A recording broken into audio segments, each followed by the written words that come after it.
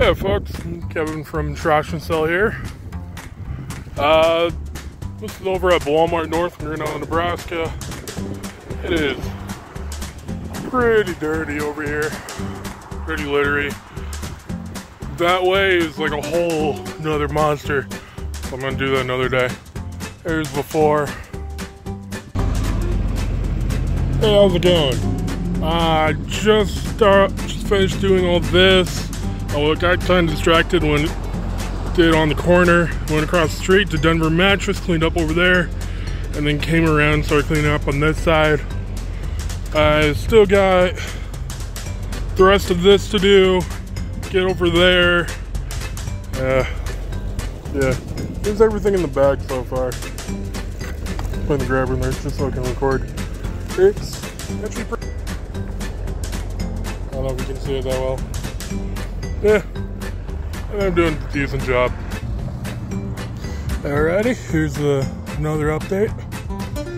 Got this area done. I'm gonna try and tackle a little bit of that. I think I did a pretty good job today. Good comeback. What's the semi truck doing? Alrighty, I might call it quits for this one.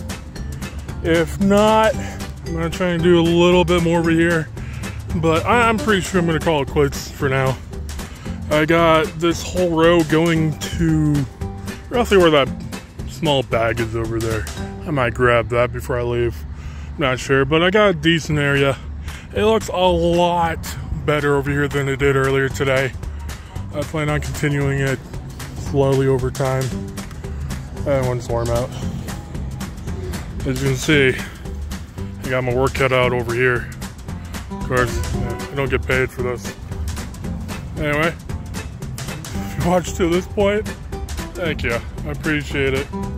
I picked up, uh, let's see, roughly about two whole bags. If you want to get technical, maybe a bag and uh, seven fifths. Bag seven fifths. Bag and seventy fifths. A bag and three quarters.